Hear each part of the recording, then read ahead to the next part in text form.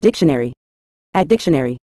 In a general context, psychopathic relates to the characteristics or behavior associated with psychopathy, which is a personality disorder characterized by traits such as a lack of empathy, manipulative tendencies, superficial charm, and a disregard for the rights and feelings of others. Psychopathic individuals often exhibit a persistent pattern of antisocial behavior, impulsivity, and a tendency to engage in deceptive or harmful actions without experiencing guilt or remorse. It's important to note that psychopathy is a clinical term used by mental health professionals to describe a specific set of traits and behaviors, and it should not be used lightly to label individuals without a formal diagnosis.